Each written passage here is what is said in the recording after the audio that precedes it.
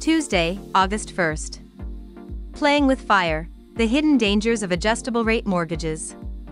Choosing between a fixed rate mortgage and an adjustable rate mortgage, ARM, can be a significant decision, with each option presenting its own set of benefits and drawbacks. If you're considering a move in the near future, an ARM may seem like the obvious choice. However, for those investing in a home for the long haul, a more detailed comparison of loan options is necessary to make an informed decision. The decision between a fixed rate mortgage and an ARM is not just a financial one. It has far reaching implications for individuals, families, and society at large. On a personal level, the choice can impact your financial stability and long term planning. For families, the decision can affect their ability to maintain their home and provide for their children.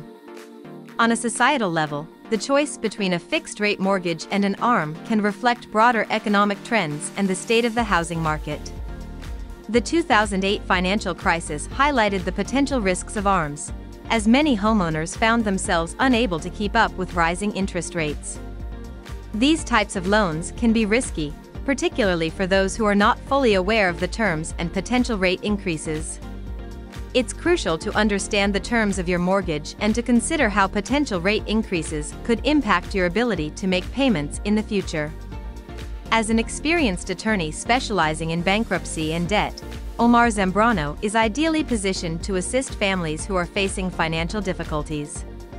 Whether you're dealing with layoffs, unemployment, or falling behind on payments, Omar Zambrano can help eliminate debt and provide the guidance you need. Offering free consultations, you can reach out at 626 338 5505 for more information.